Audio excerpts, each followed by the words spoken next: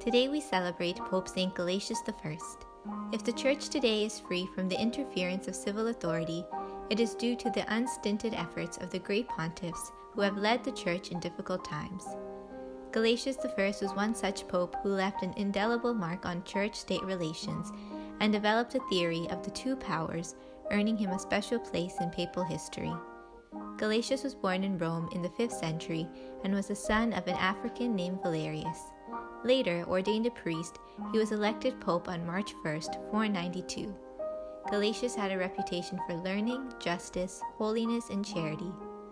The first pope to be greeted as Vicar of Christ, Gelasius was also the first to insist on the reception of Holy Communion under both species. Furthermore, he is also credited with rooting out the last vestiges of paganism in Rome, even converting the ancient Roman pagan festival of fertility into the feast of the purification of our Blessed Mother.